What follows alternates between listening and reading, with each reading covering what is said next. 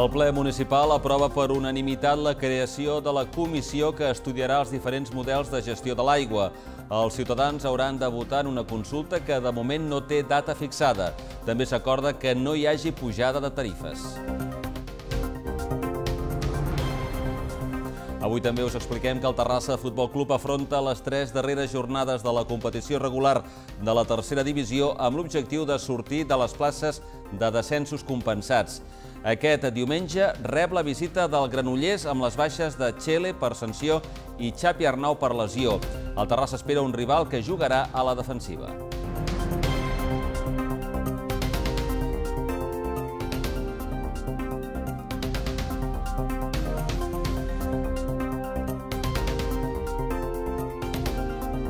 Terrassa disposa d'un nou espai per a la promoció artística de la ciutat. S'ha batejat com la Galeria i és una iniciativa del Centre Cultural destinada a l'exhibició comercial de les obres proposades per tres galeristes locals.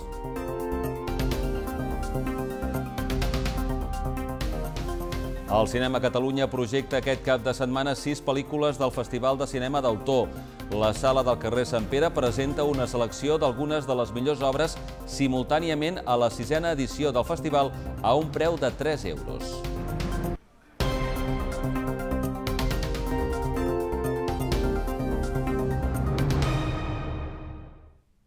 Què tal? Bona tarda. El ple municipal de l'Ajuntament de Terrassa del mes d'abril, celebrat aquest dijous, ha aprovat per unanimitat la creació de la comissió que estudiarà els diferents models de gestió de l'aigua.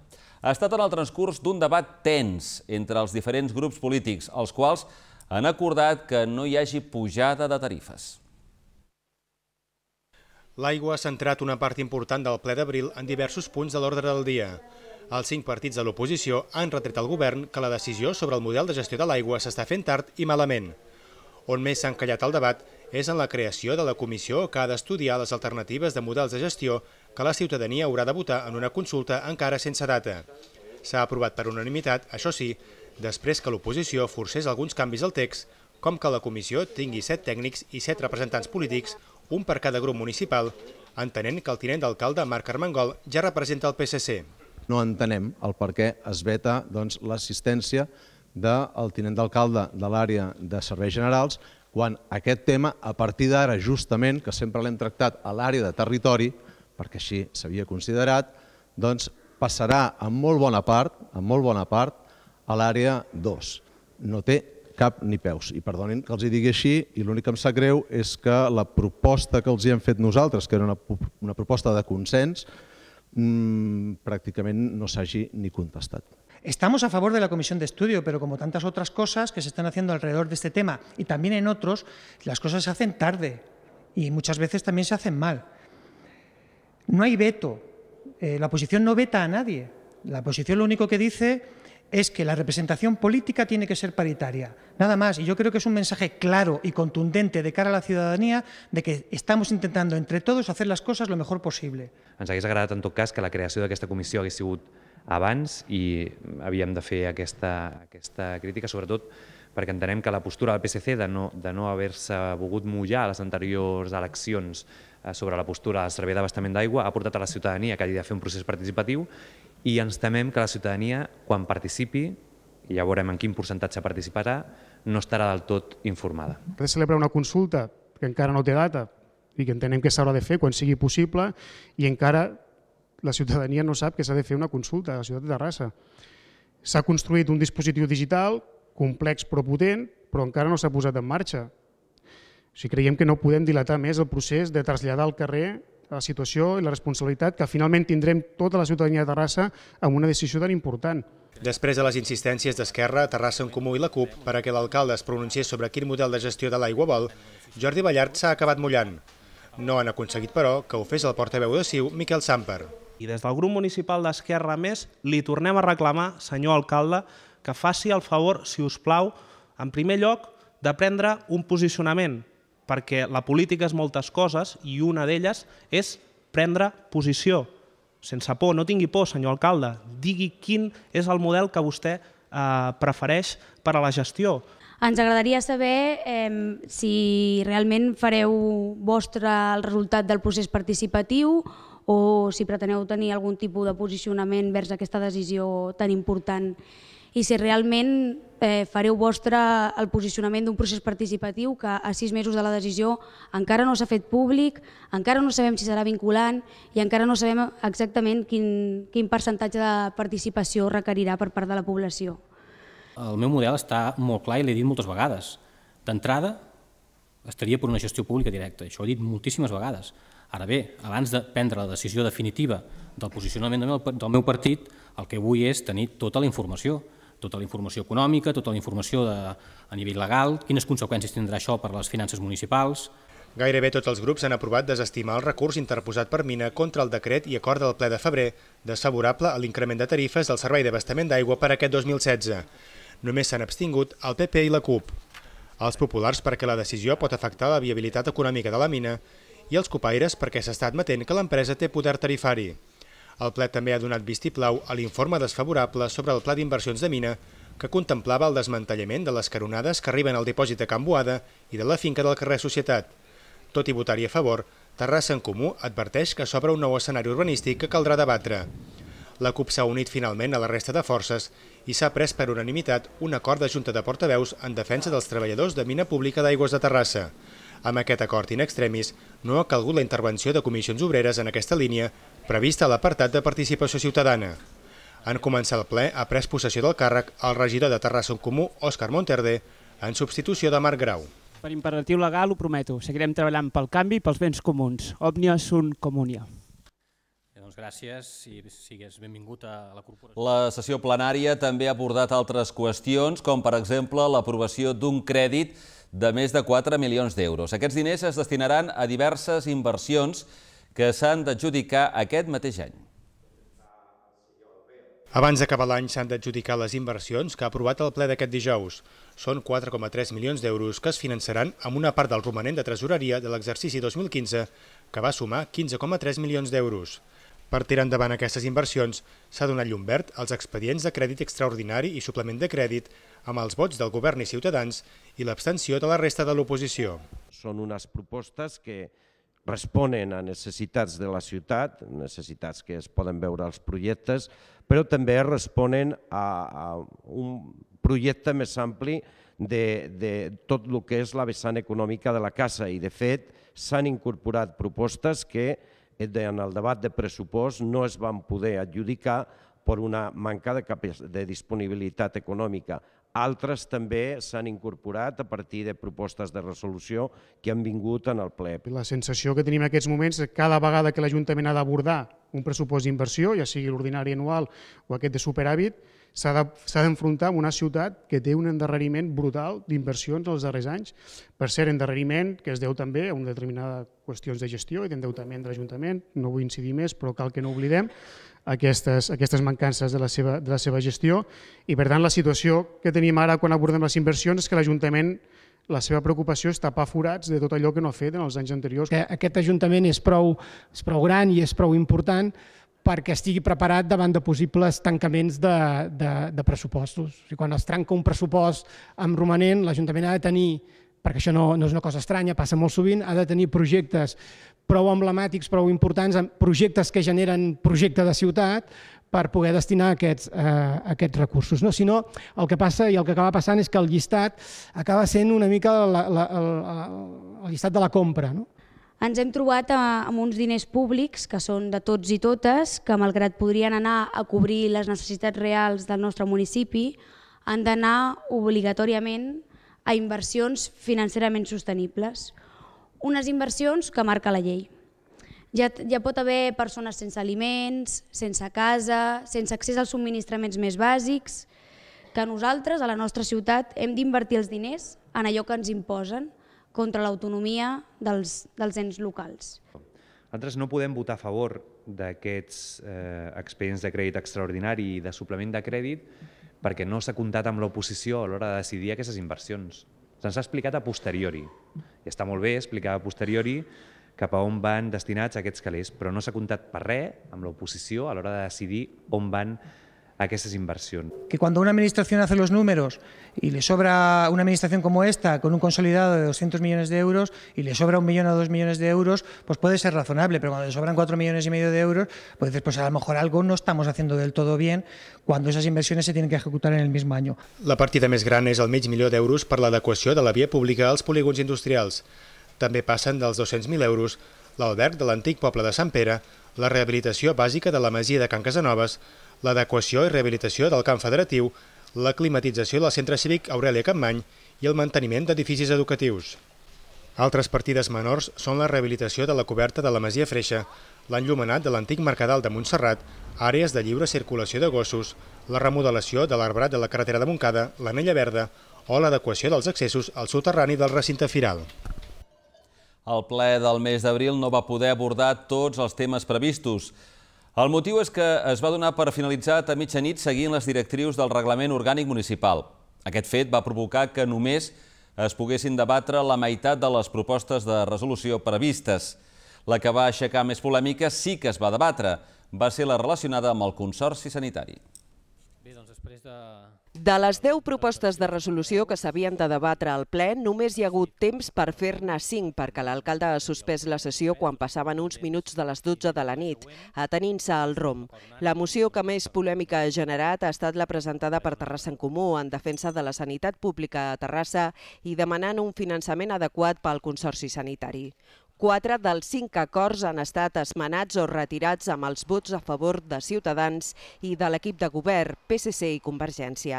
La proposta, segons el regidor que la defensava, Xavier Martínez, ha quedat totalment desvirtuada. Martínez també ha acusat Ciutadans de ser la crossa del govern. I que un grup de l'oposició aplaudeixi i voti amb l'equip de govern per desvirtuar les propostes que presentem, em sembla de jutjat de guàrdia, però avui, com que es tractava de fer de crossa de l'equip de govern, d'aquest famós tripartit a la ombra, pues, llavors avui eh, Ciutadans ho han fet sense cap tipus de complexes. El malestar també ha estat compartit per CUP, que ha titllat la maniobra de veto a la democràcia. Si l'única eina que té l'oposició, que és presentar propostes de resolució, vostès no fan més que desvirtuar-la, primer demanant que retirin la proposta de resolució i després fent esmenes que desvirtuen totalment la proposta, el que estan fent és vetar la democràcia en aquest ple deixar que no es debati una proposta de resolució. No ho entenem i no és la primera vegada que ho fan. Per Esquerra Republicana Més és important fer un informe, un mapa de la situació de la sanitat pública a Terrassa, encara que s'encarregui a la Generalitat i no el faci l'Ajuntament, després de l'esmena introduïda per l'equip de govern. Nosaltres creiem que no feia, no feia falta encarregar cap estudi, aquest estudi es pot fer amb mitjans del, del, de l'Ajuntament i fer un mapa de la ciutat un mapa sanitari de la ciutat d'una forma mm, a partir de, de, del que nosaltres coneixem. I el PP ha destacat la pressió de l'oposició per exigir informació a l'equip de govern. Quan en principi, si no fos eh, potser per l'oposició doncs, eh, actuaríem d'una forma més relaxada. Per tant, estic relativament content d'aquest bon exemple d'exercici de pressió per part de l'oposició política, que crec que és un dels elements als quals ens devem als nostres ciutadans. L'alcalde ha ofert retirar la proposta si tant a Igualida havia quedat amb les esmenes i fer una declaració conjunta de totes les forces després de la reunió de dimecres del Consell de Govern del Consorci. I que després de la reunió ens posem d'acord en fer una declaració conjunta de tots els grups intentem recollir algunes de les qüestions que s'han plantejat aquí i, i tenir més força per exigir junts tot el que, el que després de les seves intervencions he deduït que, que tots els grups comparteixen. O sigui, aquí hi ha un, un mínim comú de denominador entre tots, que és una defensa clara de la sanitat pública, de qualitat, Terrassa en Comú ha vist bé una declaració conjunta, però ha mantingut la proposta que s'ha aprovat per unanimitat perquè el punt que feia referència a no retallar més drets ni salari als treballadors s'ha respectat íntegrament. El ple d'aquest mes que ara acabem ha estat marcat per moments de tensió, de retrets, d'acusacions i fins i tot d'atacs personals. Tot i així, s'ha aprovat eh, quatre propostes de resolució. Per sobre dels temes tractats, el debat de les propostes de resolució d'abril ha estat agre i farcit de retrets. L'oposició d'Esquerres ha acusat l'equip de govern i Ciutadans de formar un tripartit a l'ombra per desactivar les seves propostes. A més, aquesta sessió ha estat marcada per les acusacions i els atacs personals. Un dels més durs, just abans de suspendre el ple, Isaac, Albert i Miquel Samper. Perquè en la seva proposta de resolució vostè començava parlant d'una llei orgànica del 5 barra 2002 i en cap moment parlava de la llei que es va aprovar al Parlament de Catalunya, que tot el que diu aquesta proposta de resolució i tot el que demanen els seus acords és el que diu la llei que es va aprovar al mes de juny-juliol al Parlament de Catalunya. Si jo avui, estic segur que el que li estic dient jo ara no li agrada gaire, però si jo avui quan hem parlat per telèfon no li dic el de la llei catalana, Vostè ve aquí avui i surt i fa el seu discurs sense dir absolutament res de la llei del Parlament de Catalunya. Si vostè es vol quedar amb l'autoria de que gràcies a vostè i al nostre desconeixement això s'ha posat a la proposta de resolució, quedi-se-la, però li ben asseguro que no ho és.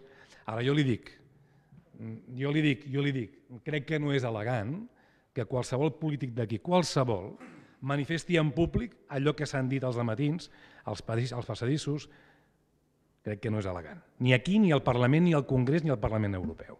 Crec que això no es fa. Jo crec, senyor Albert, que vostè fa molts dies que ens alliçona a tots. I crec que avui ha arribat el moment de dir-li no alliçoni més. Al ple s'han aprovat quatre propostes per unanimitat la protecció i foment de la bicicleta com a mitjà de transport alternatiu i sostenible d'Esquerra Republicana Més, la millora del coneixement dels joves de l'oferta formativa i de mobilitat internacional presentada per Ciutadans amb els vots d'aquesta formació del PP, PSC i Convergència, la ja esmentada de Terrassa en Comú per defensar el Consorci i els seus treballadors i finalment la presentada pel PSC i Convergència pel foment de la formació professional, amb els vots socialistes convergents de Ciutadans i del PP. La CUP ha votat en contra i Terrassa en Comú i Esquerra s'han extingut. L'Ajuntament de Terrassa, per exemple, està en una xarxa europea de ciutats.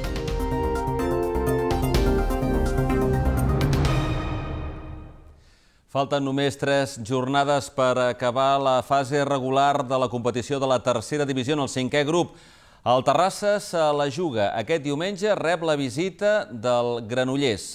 La victòria és obligada si vol evitar els descensos compensats. El Terrassa Futbol Club juga aquest diumenge el partit més important de la temporada. Rep a l'Olímpic el Granollers, un rival directe en la lluita per la permanència i que, a falta de tres jornades per al final, suma dos punts més que els agarencs. Els de Toni Rodríguez, 17 anys, estan obligats a guanyar per sortir de les places de descensos compensats en les quals es troben. Són conscients de la transcendència dels tres punts, però diuen que estan preparats per aconseguir la victòria. L'equip té moltes ganes de que arribi diumenge. O sigui, un equip que té ganes de que arribi diumenge significa que no té por. I és el més important, treure aquesta por que pot tenir el jugador a l'hora d'afrontar un partit d'aquest tipus. Ni el jugador té por, ni l'entrenador té por, ni el cos tècnic té por. El, cos el que tenim ganes és de que arribi diumenge i intentar donar el mateix. Uh, per això no serà. El jugador ho deixarà tot el camp per a aquest club i per a aquest escut. S'ha de guanyar sí o sí perquè significaria passar el Granollers. Uh, ara mateix depenem de nosaltres mateixos, igual que els altres equips, o sigui, igual que els que estem ara tots implicats implicats, eh, cadascú depèn de si mateix i el que menys li tremoli les cames serà el que, el que, el que sortirà d'aquesta situació. El Granollers ha pujat fins a la tretzena posició gràcies a les dues victòries consecutives, la darrera al camp del Morell per 1 a 2. L'arribada d'Antonio Hidalgo a la banqueta granollerina ha tingut molt a veure en la reacció d'aquest equip, que a la primera volta va golejar el Terrassa per 5 a 0. El tècnic del Terrassa espera un Granollers que se replegarà al darrere, per la qual cosa el triomf passa per dur la iniciativa en el joc i estar molt atents en defensa. Sí, està clar que ells vindran a fer el seu partit i el seu partit potser passa en replegar-se bé i buscar accions de contraatac pel tipus de jugador que té. Té jugadors molt ràpids per bandes i un jugador referència molt important. Llavors el seu joc sempre ha sigut ja aquest de fer un joc bastant directe i buscar, buscar esquenes de, de la defensa i amb aquest camp tan gran doncs segur que busquen això. Nosaltres hem de tenir previst aquestes situacions que es podem trobar, però sobretot eh, no perdre la nostra identitat. Txele, sancionat, i Xapi Arnau, lesionat, són baixes. Carlos Albel de Bárcena serà l'encarregat de dirigir aquest partit, que començarà a les 5 de la tarda i que es podrà seguir per la ràdio municipal de Terrassa.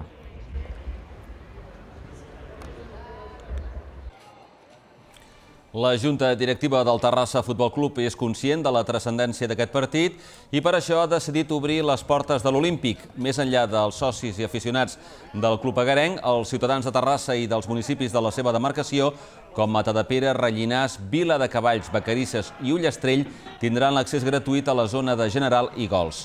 Qui s'apropi només haurà d'ensenyar el seu DNI o document d'identificació a l'entrada del recinte. L'accés a tribuna no serà gratuït, però s'ha fixat un preu de 10 euros. El president del Terrassa Futbol Club, Jordi Cuesta, s'ha encarregat personalment de motivar la plantilla i fa una crida a l'afició perquè s'apropi a l'Olímpic. L'objectiu no és un altre que millorar l'aforament d'aquesta temporada i arribar pràcticament a les 2.000 persones. Per a Cuesta, guanyar els dos propers partits a casa asseguraria matemàticament la permanència.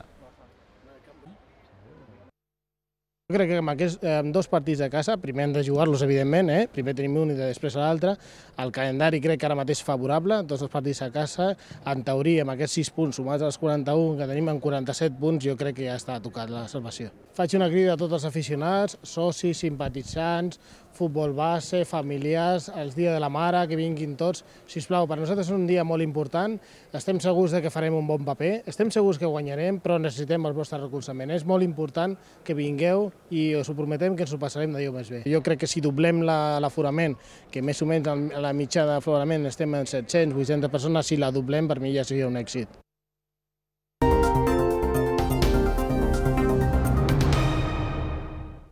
El NACTEC incorpora armes catalanes dels segles XVIII i XIX. El museu vol ampliar el seu fons d'armes donant rellevància als productes tècnics d'alta qualitat. De fet, està preparant una gran exposició sobre l'evolució de la història i tecnologia de la indústria d'armaments catalans de cara a l'any vinent.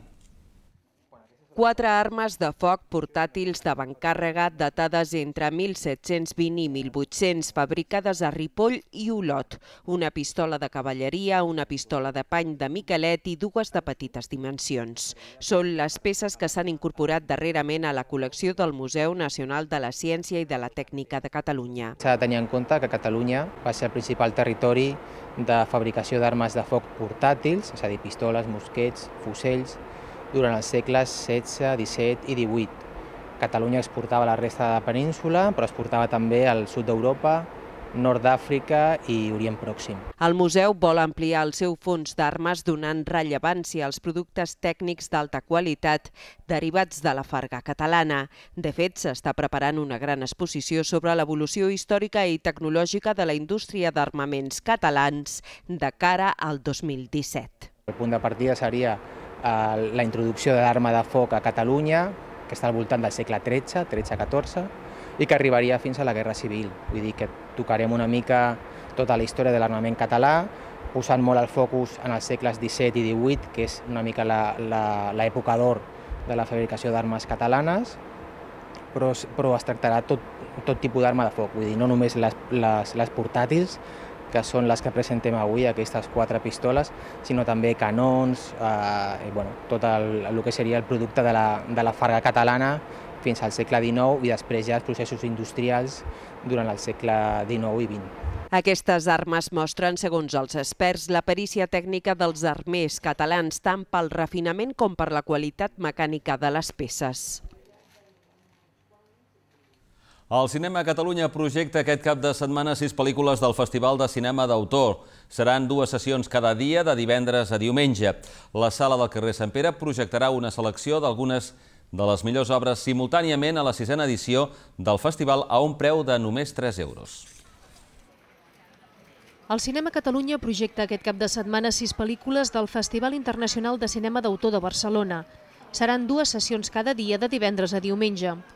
La sala del carrer Sant Pere projectarà una selecció d'algunes de les millors pel·lícules simultàniament a la sisena edició del festival a un preu de 3 euros. Des del seu naixement l'any 2011, el certamen ha favorit la itinerància de part de la seva programació, però no ha estat fins aquest 2016 quan ha ampliat l'abast de la seva difusió més enllà de Barcelona. En aquesta edició incorpora set seus a diferents localitats catalanes, entre elles la de Terrassa. A la nostra ciutat les projeccions comencen aquest divendres 29 d'abril. A la inauguració es podrà veure Les amigues de l'Àgata, una història iniciàtica que parla de la joventut, de la fi d'una etapa, de la pèrdua i la fidelitat. L'acte comptarà amb la participació de les directores de la pel·lícula i també del director del festival. La segona sessió de divendres serà Partaclub, de Brillante Mendoza, a les 10 de la nit. El director mostra com intenta recuperar la seva normalitat aquesta localitat filipina al cap d'un any de ser arrasada pel tifó Haiyan. Dissabte serà el torn de Les Amis, l'òpera prima de l'actor Louis Garrel, un retrat de les dificultats en l'amor i en l'amistat, i la inquietant Demon, que es va poder veure al darrer Festival de Sitges i que a partir d'un casament a Polònia fa una crònica política afilada alhora que un relat inquietant i pervers. Finalment, diumenge, el Cinema Catalunya acollirà les dues darreres sessions del Festival de Cinema d'Autor. En aquesta jornada, les pel·lícules triades són El Tesoro, una faula sobre el present i el passat de Romania a través d'una estructura de conte infantil, i Sunset Song, un melodrama històric impetuós i opac que parla de l'amor i de la guerra, del passat i de la memòria a partir d'una novel·la de Louis Grassip Gibbon. Per cert que tant divendres com dissabte, abans de les sessions del certamen, el Catalunya projectarà els documentals Sorolla, la emoció natural i Florència i la Galeria dels Uffizi. La Galeria. Aquest és el nom del nou espai d'exposicions que ha estrenat el Centre Cultural amb cinc propostes de galeristes locals. Fins al 28 de maig, aquesta sala comercial ofereix una mostra col·lectiva dels artistes que exposaran durant la resta de l'any i a partir del juny cada mes estarà dedicat a la promoció de les obres d'un autor diferent. Terrassa disposa des d'aquest dijous d'un nou espai per a la promoció artística de la ciutat. La Galeria és una iniciativa del Centre Cultural destinada a l'exhibició comercial de les obres proposades per tres galeristes locals. Susana Givert, d'Espai Gedar, Paulo Cacais, de l'estudi Tigomigo, i Josep Casajoan, en representació dels Amics de les Arts, han presidit la inauguració de la sala juntament amb el president de la Fundació Antiga Caixa de Terrassa, Ignasi Cosidor. Inicialment i fins al 28 de maig, la galeria acull una mostra col·lectiva dels artistes que exposaran durant la resta de l'any. Així, a partir del juny, cada mes estarà dedicat a la promoció de les obres d'un autor diferent. L'art s'ha de poder viure, l'art l'has de poder observar i l'art també el pots adquirir. Eh, tenir aquest, aquesta nova oportunitat dintre del centre cultural eh, ens sembla un pas més que això, a més a més, que no és la finalitat del centre cultural, que sigui la compraventa d'art, es pugui produir al centre cultural i amb la col·laboració d'altres entitats, altres associacions, altres galeristes, altres empreses, doncs és una oportunitat i és una manera d'anar fent gran aquest equipament. Fins a cinc artistes diferents participaran en aquest seguit d'exposicions. L'escultor de Sant Cugat, Pascal Plasència, obrirà el cicle del 2 de juny al 17 de juliol. Durant el mes de setembre, l'artista local, Anna Taratiel, exposarà les seves pintures. La tercera de les exhibicions individuals serà durant el mes d'octubre de l'escultor Albert Novellón. Eh, les circumstàncies que actualment hi ha dintre del món de l'art, el fet de crear un nou espai sempre és un element positiu. Després veurem com es desenvolupa tot plegat i com funciona, però el fet, només el fet de crear-lo, el fet de poder-lo inaugurar, ja és un fet que, que ens hem de felicitar, vaja. Durant els dos últims mesos de l'any, la fotògrafa xilena Cati Riquelme I i la pintora valenciana Rosa Torres després exhibiran les seves obres en busca de compradors. La intenció dels responsables de la iniciativa és donar-li continuïtat i que la sala acabi esdevenint una referència dins l'àmbit artístic. El Centre de Documentació i Museu Tèxtil ha inaugurat aquest dijous l'exposició Intimíssims, la roba interior modernista, emmarcada en els dies previs a la celebració de la Fira Modernista. Armanda Cadeiro, de la Universitat Federal de Minas Gerais del Brasil, ha estat l'encarregada de preparar aquesta mostra. A la mateixa es pot veure un vídeo del recorregut de les peces des quan surten de la reserva, passen pel taller de restauració, es munten en els maniquís i es col·loquen a l'exposició. La mostra Intimíssims, la roba interior modernista, estarà oberta al públic fins passada la Festa Major de Terrassa. Amb imatges d'aquesta exposició peculiar, arribem al final de l'informatiu. Gràcies per la seva atenció. Molt bona tarda.